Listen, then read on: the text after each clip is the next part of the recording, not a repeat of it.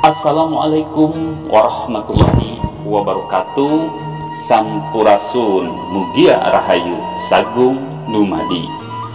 Alhamdulillah sahabat hadi di mana pun berada. Semoga diberikan kesehatan jasmani dan ruhani tentunya. Amin ya robbal alamin. Dalam obrah kali ini yaitu obrolan sejarah Kita memaknai kata sang mokteng dan sang lumahi. Mungkin sahabat pernah mendengar ataupun pernah membaca? Ataupun mendengar daripada orang tua? Atau siapa pun itu? Apa itu sang mokteng dan sang lumahi? Sang mokteng dan Sang Lumahi. Dalam carita Parahyangan, beberapa nama raja disebut Sang Mokteng atau Sang Lumahing. Istilah Mokteng atau Lumahing disematkan bagi raja-raja yang telah mangkat. Dalam bahasa Jawa kuno, kata Mokteng yang berasal dari kata Mokta ring memiliki makna yang melesat di Lumahing dalam bahasa Kawi ditulis Lumaheng yang artinya bertempat di Mokteng berkaitan dengan moksa yang dimaknai kebebasan atau lepasnya jiwa raga dari ikatan duniawi menuju swarga.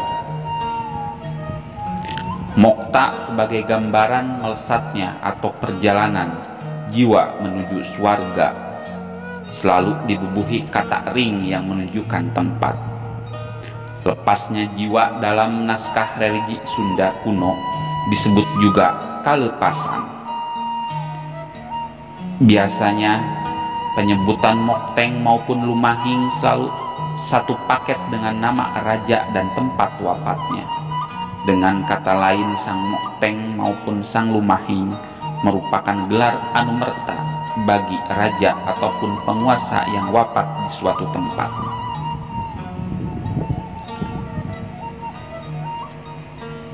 Kata mokteng dan lumahing di Sunda umumnya digunakan sebagai bahasa naskah dalam prasasti untuk menyebutkan raja yang wafat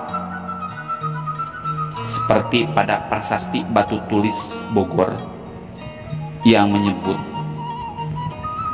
Rahyang Dewa Niskala Sang Sidamokta Rahyang Dewa Niskala yang dipusarkan di Guna Tiga.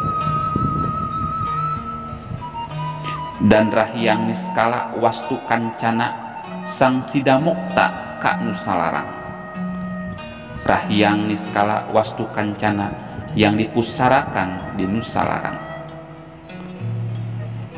Masyarakat Sunda secara umum menyebut istilah sang mokteng maupun sang lumahing cukup dengan kata ngahiyang dan itu berlaku sampai saat ini.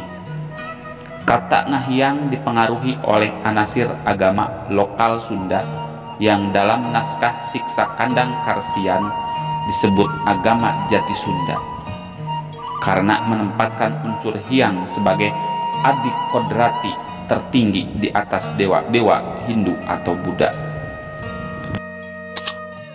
Jangan lupa like, komen, dan subscribe-nya.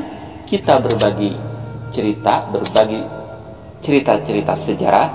Silahkan komen untuk berbagi dengan sesama. Salam sahabat Nusantara, Rahai.